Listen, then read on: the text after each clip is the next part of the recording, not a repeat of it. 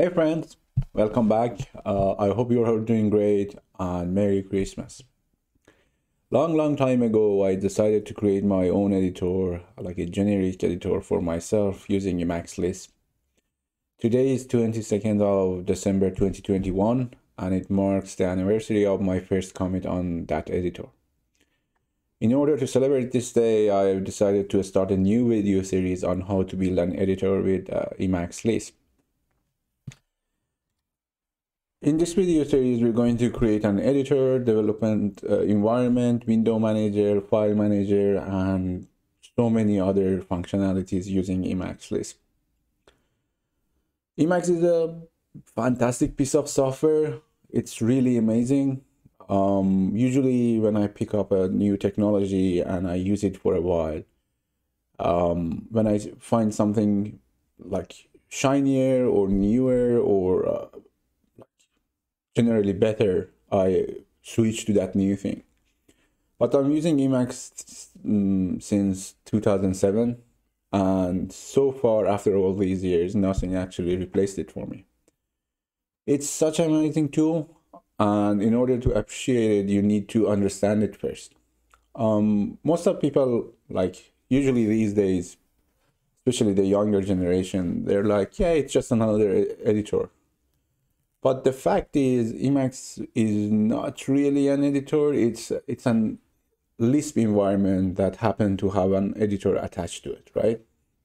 And you can do pretty much everything with Emacs Lisp. Whatever you can do with other programming languages like Python or stuff like that, you can do it with Emacs Lisp as well. In fact, I created my own HTML, like a static HTML generator to uh, build my static website. Like it works great it meets my requirements. And overall like for past i don't know how many years i like it was a, such a joyful journey and experience to work on my own editor to build the stuff that i need using emacs lisp so my goal is to spread the joy. Uh, hopefully some someone might have might find it interesting and might uh, experience the same joy that I uh, uh, experienced before. Also, uh, another goal of mine is uh, like for this video series is to act as a guideline for any contributor who wants to work on this editor with me or any user who wants to pick it up and use it. It has like few users at the moment, uh, mostly due to my laziness. I didn't do, I didn't create much documentation on the previous versions so I'm in close contact with every user. I, I, I was like a kind of a documentation, like a live documentation. But hopefully that's going to change in the uh, V3 that I'm working on at the moment. And finally, if you like this video series would be a good starting point for anyone who wants to uh, get their feet uh, wet with uh, some Lisp and get started with some form of Lisp. Emacs Lisp can be really easy to start. It doesn't have that much complexity, and overall, it's it would be a good starting point. So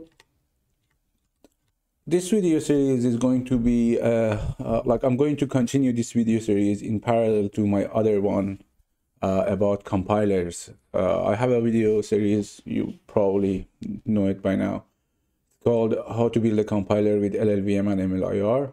I'm building my own compiler and my programming language and sharing the experience I have, like I gained during the course of uh, developing a compiler. So if you didn't check that out yet, give it a go.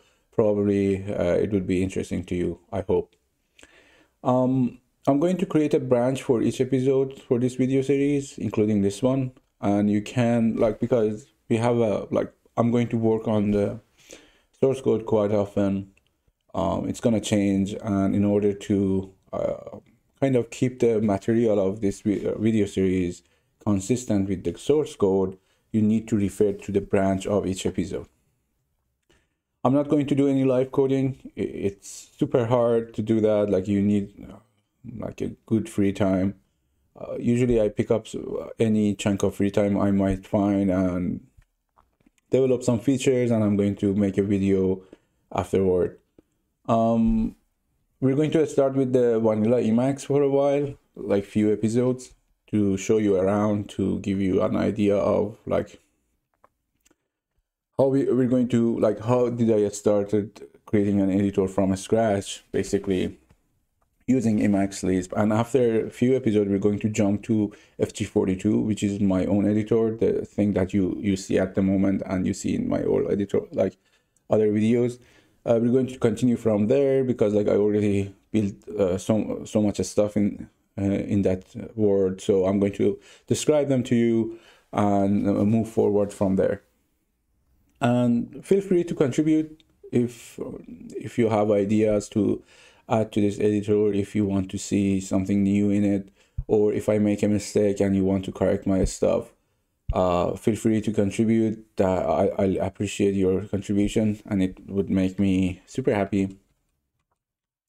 So to give you a little bit of a story, history, sorry.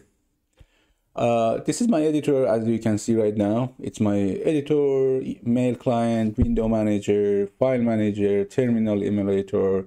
Some like some times ago I used to use it as IRC client.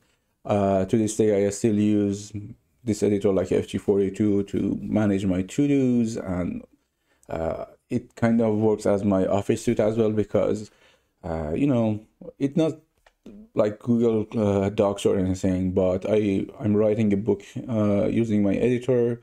Um, I do a spreadsheets in it uh, so many other functionalities.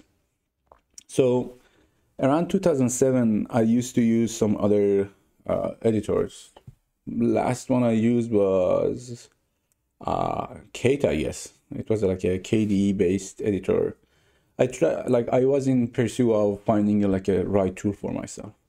And obviously I didn't have much experience back then. Um, one day I was in a Linux user group uh, in my town.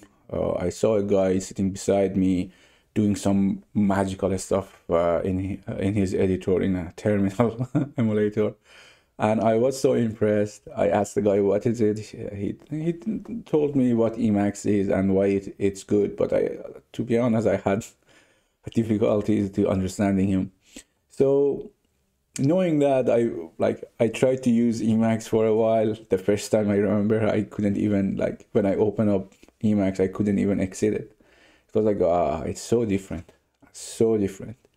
But I was kind of peskier than that. I uh, tried to figure out how it works. Little by little, I kind of liked uh, Emacs. And after three years in 2010, I had a, like a my own configuration of Emacs. It still was configuration, so um, I just configured some different libraries to do something, and I had an editor, and only for myself. In 2010, I was in the train uh, back home, going back home from work, and I was like, you know what? If I like Emacs, like if it's so good, I want my friends to use it, but I don't want them to go through the like difficulties that I have. Let's create a generic editor so other like my friends can actually use it. Pick it up, start using it, and like at least uh, hide some of the difficulties at, at first. So that was the how it started. Uh, it I changed the name few times. The first few names were were kind of not good, um, but it's now twelve years old. I it went through many iterations. Right now, I'm working on the V three. Um, kudos to everyone who contributed to this editor. There's like dozens of people people already, and it's just a, it's it's like my aim is to create an editor with a generic API for people to add their own stuff uh, to it. it. It would be like a higher level API than what Emacs provides, and we're going to figure it out during the course of this video series together. All you need to do to get us started is like Emacs version 27.1 or anything recent than that. Uh, you, you can find the website of FG42 at uh, fg42.org. It's auto-generated using Emacs Lisp again.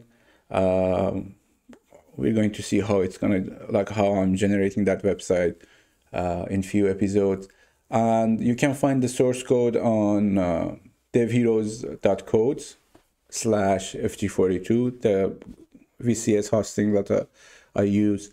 And you can find my website at uh, lxsameer.com if you have any idea, if you want to see any feature in this video series, or do, if you have any feedback, please please reach out to me uh, via email lxsameer at gnu.org and lxsameer at uh, lexsamir.com.